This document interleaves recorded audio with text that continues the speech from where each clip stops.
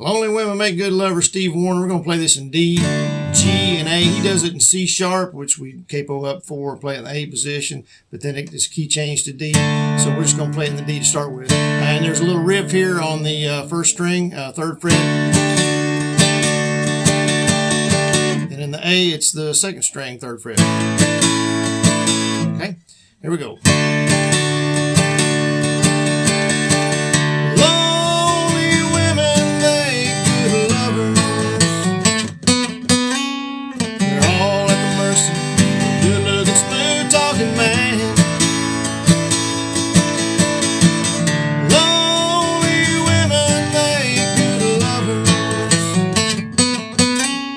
See?